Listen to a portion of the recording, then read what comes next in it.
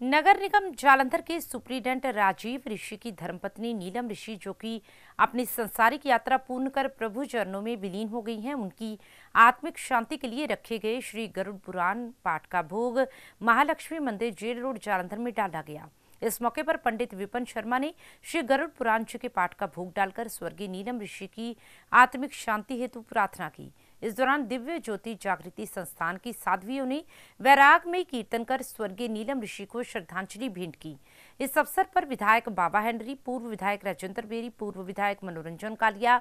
पूर्व CPS KD Bhandari Deepak Luthra, Rakesh Bhola, Manoj वडेरा, ऋषि कपूर, गोल्डी मरवाहा, राजीव लूथरा, विक्रांत शर्मा, योगेश मल्होत्रा, अशोक चड्डा सक्षम लूथरा, राणा शूर, कमलजीत सिंह भाटिया, महेंद्र कुमार, सुभाष लूथरा हरिपाल सोंधी, Raju Madan Vineet Dhir, Atul Nagpal, Rajesh Midda, love Malik, Rajesh Chauhan, Diwan Amit Arora, Pradeep Agarwal, Saurabh Seth, पूर्व मेयर जगदीश राजराजा, जसलीन सेठी, डॉक्टर जशनीव कपूर सहित पारिवारिक सदस्यों में पति राजीव ऋषि ईशिका ऋषि, विशंबरनाथ, विजय कुमारी सहित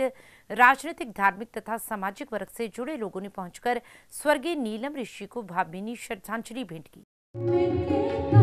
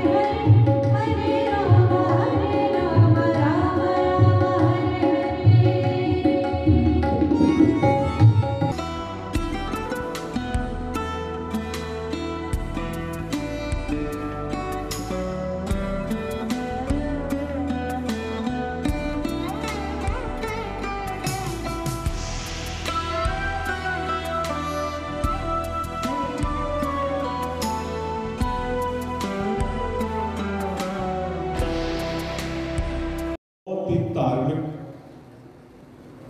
ਔਰ ਰੱਬ ਨੂੰ ਮੰਨਣ ਵਾਲੀ ਸ਼ਖਸੀਅਤ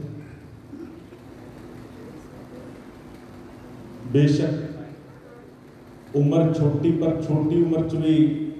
ਪਰਮਾਤਮਾ ਨੂੰ ਮੰਨਣ ਵਾਲੀ ਗੁਰਦਾਸਪੁਰ ਦੇ ਵਿੱਚ ਜਨਮ ਹੋਇਆ ਔਰ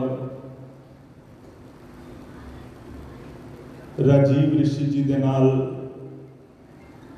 ਸਨ 2000 ਦੇ ਵਿੱਚ ਸ਼ਾਦੀ ਦੇ ਗਠਬੰਧਨ ਦੇ ਵਿੱਚ ਬਚ ਕੇ ਸਦਾ ਸਦਾ ਲਈ ਰਿਸ਼ੀ ਪਰਿਵਾਰ ਦੇ ਵਿੱਚ ਆ ਗਏ